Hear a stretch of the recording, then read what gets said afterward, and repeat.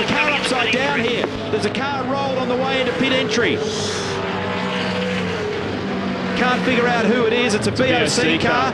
It could be Jones, obviously, or Bowe. Upside down, pinned against the tyre barrier. Zinger replay might tell more of the story now. Brad's already, now he was in a battle with one of the Valvoline cars. At, uh, don't know which one it was. Could have been Cam McConville. Might have been his nephew Andrew Jones. He ends up in the dirt, out wide, and up against that tyre barrier. Fortunately, the tyres have done some job to arrest the, the speed of the car.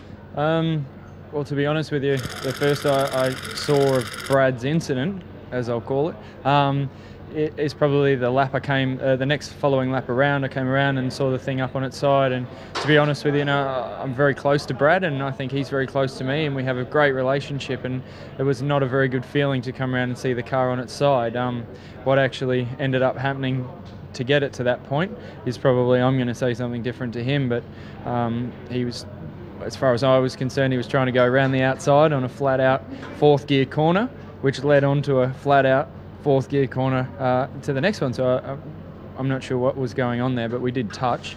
Uh, there was a mark on the right rear of my car. So you can sort of read into it however you want. Um, we spoke about it and it's all fine, you know, it's a game that we play and he probably thought I'd be a little bit more lenient towards him. Um, but you know, I didn't actually expect him to go around the outside on that type of corner. So it was unfortunate what happened, but it's you know luckily he was fine and um, we move on. Cars are going off on the gravel. That's rolled. It's rolled. There's obviously some rubbish on the road, and uh, it's Brad, Jones, Brad Jones again. again. Second race in a row, he's on his roof. He'll be. Uh, this will be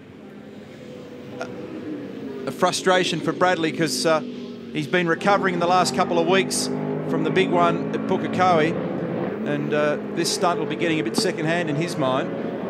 And someone's gone to help. I think that's Paul Radisich actually that's gone to help. He was down there watching.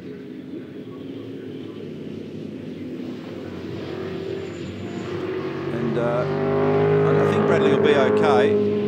Uh, compared to the one in New Zealand. The problem is you've got to un undo your belts and not actually end up dropping on the roof of yeah, the car. Yeah. You've got to unplug your radio and then you've got to detach yourself from your drink bottle and your Hans device.